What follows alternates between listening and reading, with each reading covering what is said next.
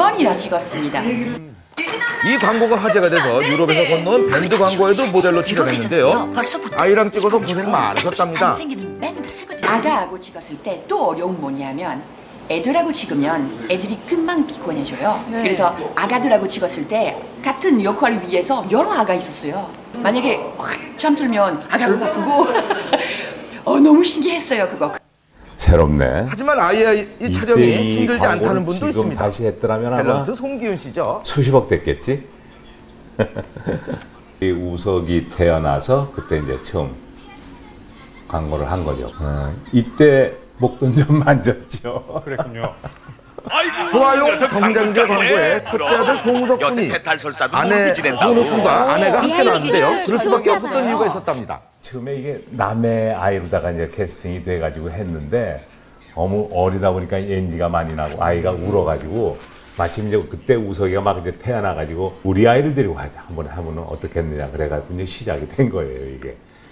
그 이후 3년간 전속 모델을 했는데요. 그간 둘째 딸 송주 양이 태어나서 또 하나의 철업을 만들었다고 하네요.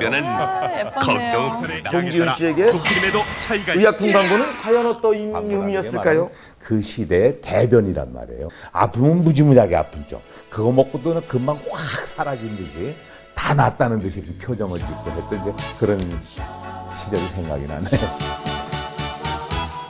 국민 건강을 책임져온 제약품 광고, 의, 의약품 광고. 그 속에는 네. 우리 시대의 단면과 엄마 손처럼 따뜻하고 그 옛날 만병통치약처럼 정겨운 이야기가 담겨 있습니다. 예. 예. 과거로 갔다 왔네요. 예, 이제 오늘 제가 좀 말씀 좀 많이 했는데 예, 아예 별 자. 이 제약 광고에는 예. 말이죠. 좀 못하는 게 좀 몇 가지 있습니다. 네. 그 의사나 약사들이 절대 출연을 할 수가 없고요. 어. 또 어, 매우 효과가 빠릅니다 하는 단정적이거나 이 너무 과장된 표현을 할 수가 없습니다. 왜냐하면 이제 오- 약의 오남용을 좀 막기 위해서겠죠. 아하, 그런 뜻이군요. 이 제약 광고에는 이 제약 심의가 따로 있어서 네. 어, 굉장히 그 엄격하게 관리하고 있다고 합니다. 그렇죠. 자, 광고로 본 세상 다음 주에도 더 재미난 이야기로 찾아뵙겠습니다. 네, 네. 재밌었습니다. 약은 약사에게, 진료는 의사에게 받아야죠. 자, 그나저나 요즘 캠핑 시즌입니다. 아, 어디론가 훌쩍 떠나고 싶은 떠나고. 그런 시즌이 아닐 수 없는데요. 네. 자, 여러분은 캠핑 어디까지 가보셨습니까? 요즘 이 캠핑 인기가 늘어나면서 종류도 참 다양해졌거든요. 오토 캠핑은 물론이고요. 도심 속 캠핑까지 여러 가지 종류가 있는데 오늘 만나보실 주인공들은요. 뗏목 캠핑을 어? 즐기시는 뗏목이요? 분들입니다. 아, 예. 어떤 캠핑일지 상당히 궁금하실 텐데요. 지금 함께 만나보시죠. 네. 자, 강원도 화천군 8호호 초자연적인 캠핑을 즐기는 두 남자가 있다고 해서 찾아가 봤습니다. 이렇게 좀 그 날씨가 좀 안 좋은 날 여행하는 게그 기억에도 많이 남고 두 남자의 여행에는 요 뗏목이 필수입니다. 누가 이런 데 오려고 생각을 할까요? 뗏목 만들어서. 뗏목에 동력 장치를 단 건데요. 원하는 곳 어디로든 갈 수 있다는 게 최대의 장점. 게다가 야생의 자연을 그대로 즐길 수가 어? 있습니다. 다 돌아봤어요? 어디가 제일 좋아? 나는 이, 런 게 또 추억에 남지 않겠습니까? 너무 좋아요, 진짜. 보십시오, 저런 거.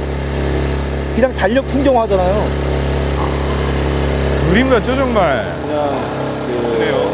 걸어서 들어갈 수 없는 그런 이런 경치라든지 이런 거를 좀 보고 싶었어요. 그러게요. 짧은 시간에 이제 보는 거는 의미가 없고 긴 시간 동안 여유 있게 좀 보고 싶어가지고 여기 안에서 뗏목에서 잠도 자고 이제 밥도 해 먹고 그러면서 이제 경치도 구경하고 이렇게 좀 유유자적하는 그런 여행을 좀 하고 싶었어요. 근데 어떤 느낌일까요? 네, 그런데 요즘 같은 장마철에는 또 염려스러운 것도 사실이죠. 또 안전, 안전지는 유저라서 시- 실수로라도 다친다 그러면 나는 그건 아닌 것 같아요. 즐기러 나온 거죠. 그냥 목숨 걸고 하진 않아요. 그렇다면 굳이 비 오는 날 뗏목 여행에 나선 이유 바로 이 폭포 때문입니다. 와.